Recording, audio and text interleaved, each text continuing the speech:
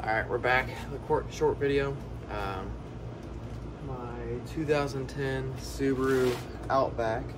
I was taking it to, uh, was taking it to uh, Kansas City and to take some stuff up for my cousin. And got a transmission code uh, P0. I don't know, I'll put it on the screen here. And uh, related to the valve body issue, um, solenoid for the torque converter. Uh, after some extensive research, I discovered that you cannot replace individual solenoids in these Subaru transmissions. I and new one was thousand dollars, and I couldn't justify spending a thousand dollars on a 2010, uh, especially with some of the other issues it has. But I didn't want to buy a new car, so I opened it up, opened the, took the pan off, and I figured out how to fix it. And uh, I already got the valve body out. I'm not going to film a, a, video on how to take the valve body out. Mr. Subaru, I'll put his link in the description, uh, has a good video on how to replace these valve bodies if you guys just want to replace them. I went down the cheap road. I'm just uh, replacing individual valve, uh, sorry, solenoids. Uh, so I'll show you how I test it and uh, how I replace it and where I got the parts. So, turn the camera around. All right, as you can tell, get some gloves on. Because this stuff's stanky. As you can tell, got the valve body out here sitting on cardboard on a table I made. And uh, so this is the solenoid that went bad here. I was able to diagnose that solenoid individually with a voltmeter. I don't have a. I got this voltmeter from my grandpa. Not the most fancy voltmeter out there, but it does the job. Let me show you how it works. So I have it, as long as it can read ohms, you have it set to 200 ohms. And uh, I'll show you how I do that. See if there's a way for me to so you can see it. Uh, there we go. So basically the issue is, these should have, all have about 12 ohms of resistance. One, two, three. All three of these. This is the problem child one, and it has about 22 ohms of resistance. So if we come over to the plug, if you notice it's a green and gray wire. The gray wire is the ground wire. So if we come over here and look where the green wire comes in, which is the middle prong here. That doesn't matter which way I put these on because it's just ohms. So if I put that there and I touch that for a ground, oh, I was reading good. Okay, that's another one. Blue and purple. Ooh.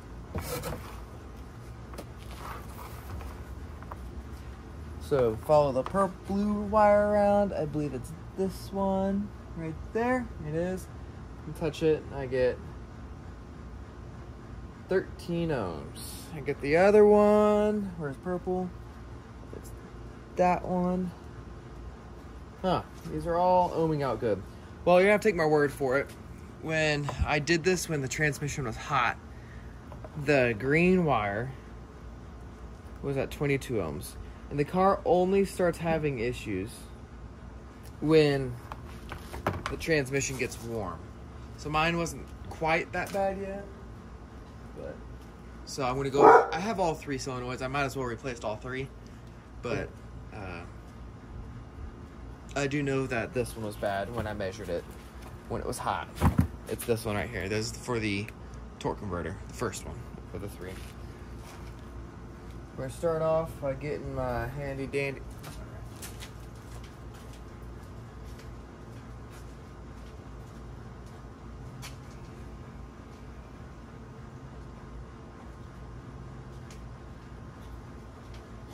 Getting the handy dandy battery ratchet out. Just gotta take some 10 mils. There are some covers going over the top of these wires. For example, here here, and there's one back here on this bolt. So we're gonna start off by bending it up.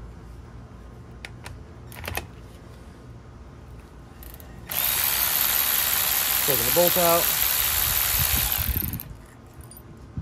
There.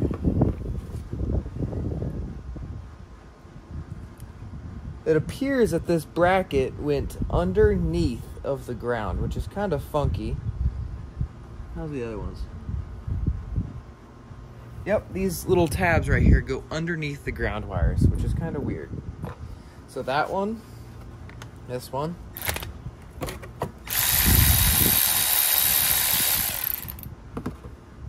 another another tab here that needs to be bent up.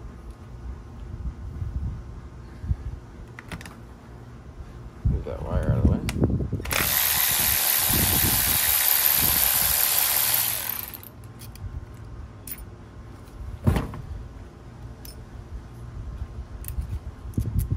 I am trying to keep these in order as much as possible so I don't lose them.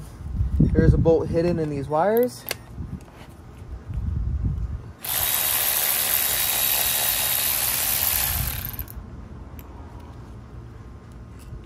Let me put that one there. And there is one more here, but that shouldn't need to come out. So now, this little bracket here actually doesn't need to come out. I lied to you guys.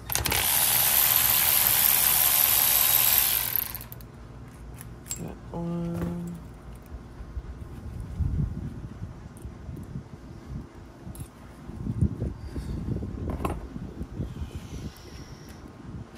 Set that up, pull it up, and try to get it out without damaging anything. So take your time and be extremely cautious. Lay that there. As you notice, there is some metal on built up on there. That's kind of normal wear and tear. This car does have over 200,000 on it. So now I'm gonna take a little flathead screwdriver. There is a little indent down here, and I'm just gonna lift up.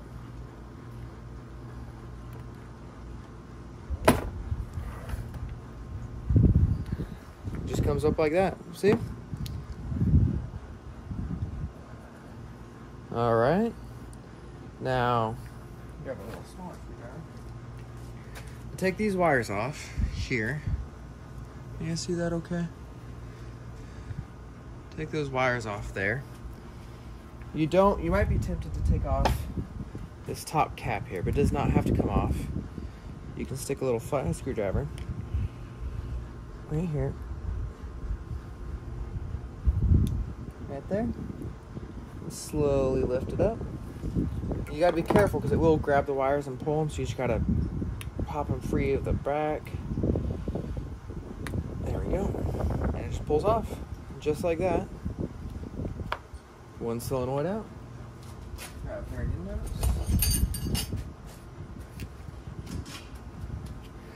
Grab a pair of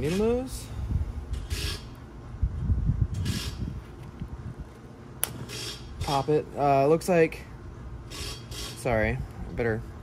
Green went on the right one on this one. Gray went on the left. So out with the old.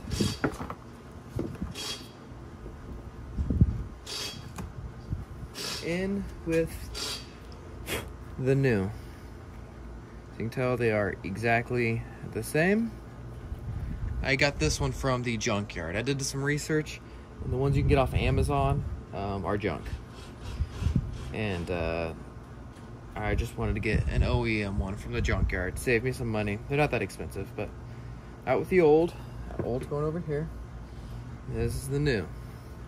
So it's that same thing. I gotta take the cover back off.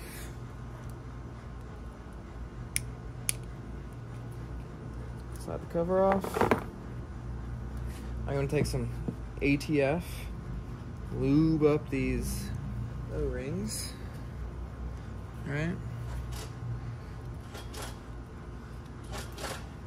It sat in like that. So if you remember,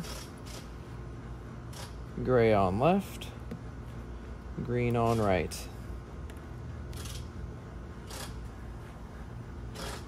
So we'll throw this in here.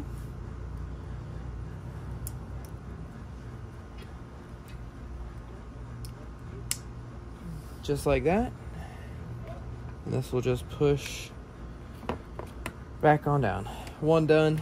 I'm gonna replace these other two because I have the transmission out and I have two more. So I'm not gonna worry about it. So I'll change those out and I'll be right back with you guys. Same process. All right. We had all of these changed out, new covers on. The bad three are lined up there. I believe only this one was bad, but it only went bad when the transmission got warm. So, uh, I went ahead and replaced all three anyways because I had all three. So, we're going to start off by putting everything back together. So, I'm going to kind of clean this part a little bit. It's got a little lot of little metal, worn metal, old transmission. Not too soft. It, this transmission is not taken care of. So this goes on like that. And it has to go on underneath of wait, did this come out like this?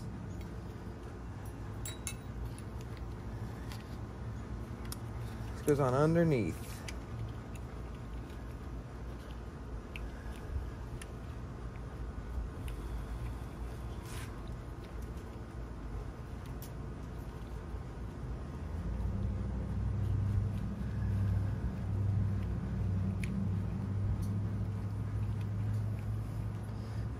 Super mindful of wires.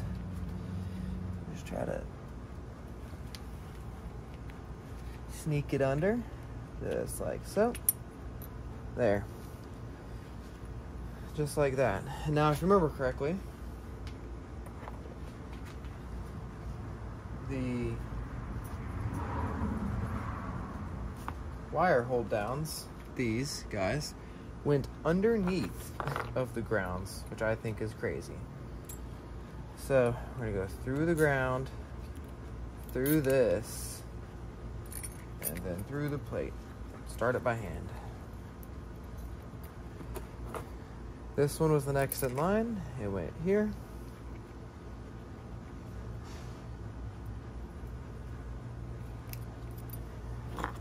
This one went here.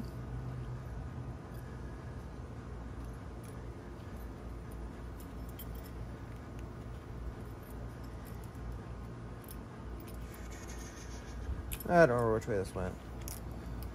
Anyway, it's a big deal.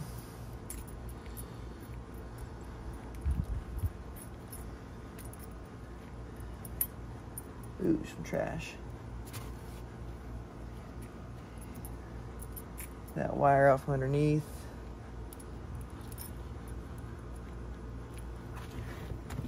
Socket off.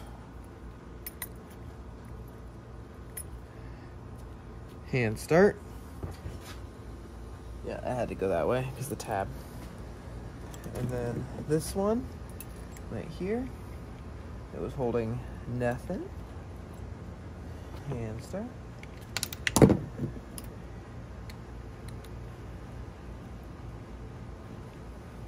Hand started. Gotta make sure no wires, absolutely no wires get underneath. And then my last bolt here went here.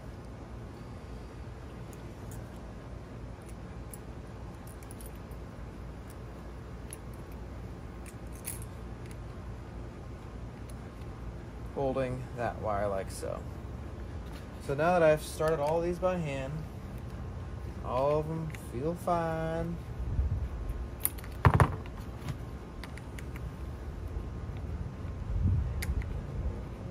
Yep, all of them feel fine. We're gonna take the battery ratchet and just run them down, stopping before they get tight. There we go.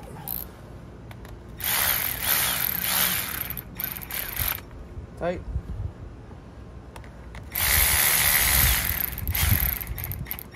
Tight. Make sure no wires are underneath tight. Make sure no wires are underneath. Tight.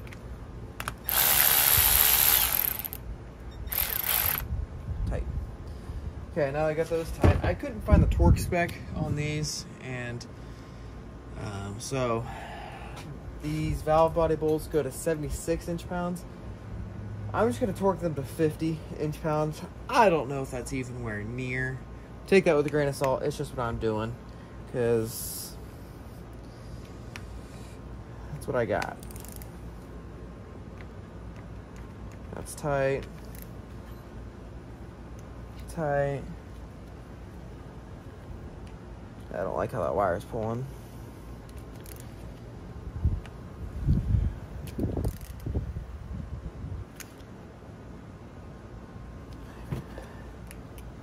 That wire is spinning on me in there, so I'm trying to hold the wire so it doesn't pull.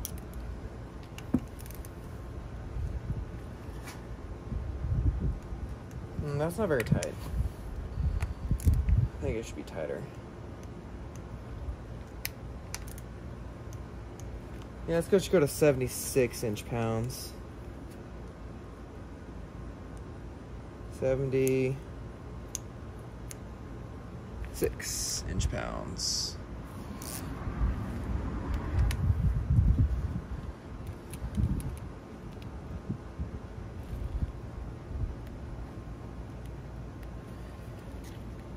Mm, I don't know if I can get it to click.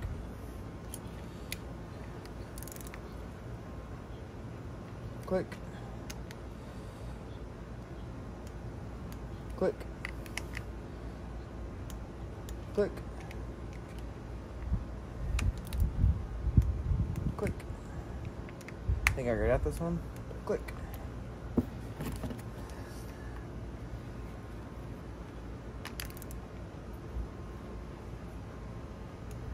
Click. All those are torqued. Fresh out of Cal too, check that out. Brought it, brought it home from my toolbox at work.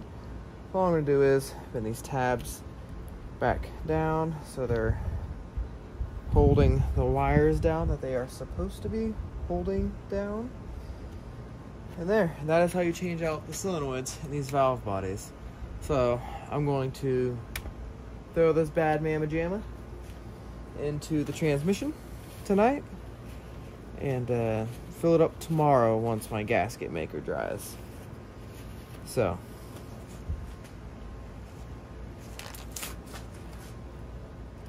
It's that easy. If you're confident removing the valve body, you're more than capable of swapping out these solenoids. They're super easy, quick, easy. Can't ask for anything easier. So like I said, uh, if you have these codes, I'll put them on the screen again. It's torque converter, valve body, a solenoid lockup, whatever. I don't remember what the code says. Um, is those three solenoids. It's honestly the first one with the green wire. Mine only ohmed bad at 22 ohms when I had heat inside of the transmission. So you might want to, if you're going to do this yourself and you just want to verify everything before you go buy these parts, uh, go for a drive, get the transmission warm, uh, immediately get home, drop the pan. You can use your ohm meter set to 200 ohms, stick it on the green wire to the ground, to any bolt of the valve body, and if it's anything above 12 ohms, that solenoid is faulty. Um, so, I hope these solenoids are good because they checked out when I went to the junkyard. So, like I said, thank you so much for watching, and uh, see you in the next one. I've been working behind the scenes and some stuff, so see you in the next one.